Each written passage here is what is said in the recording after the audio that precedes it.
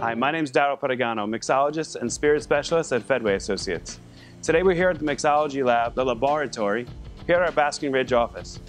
Today we're going to be making a drink with Captain Morgan Cannon Blast. Captain Morgan Cannon Blast is a unique blend of Captain Morgan Original Spice rum, as well as a little bit of jalapeno in there as well. Give it a little kick. Great for a summertime sipper. And we're going to make a drink called Dos Amigos. Simply, we add a couple jalapeno slices. We're going to add a half an ounce of honey syrup. Next, we're to add a half an ounce of fresh squeezed lime juice. We're to add two ounces of pineapple juice. And then we're to finish it off, of course, with Captain Morgan Cannon Blast. We're to give this cocktail a good shake.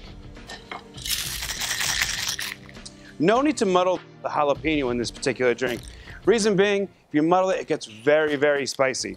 Make sure also that those jalapeno wheels are de-seeded and de-hulled. Too many seeds, too hot. After we finish shaking our cocktail, we're gonna go ahead and we're gonna strain it over fresh ice into a highball glass. Next, we're gonna garnish with a jalapeno slice and slice of lime. And there you have Dos Amigos with Captain Morgan Cannon Blast. Cheers.